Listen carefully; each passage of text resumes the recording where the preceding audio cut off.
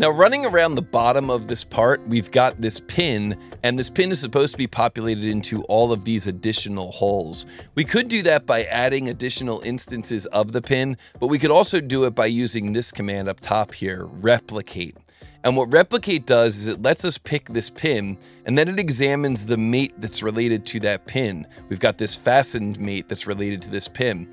Then I can choose a face from the model and any identical edges will automatically get a copy of that component in the correct location.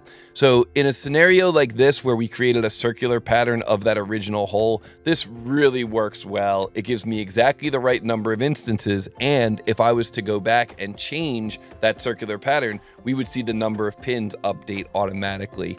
So Replicate is a great tool to learn about. It really helps you keep your assemblies efficient and it really helps you quickly populate those assemblies with the correct number of components episodes.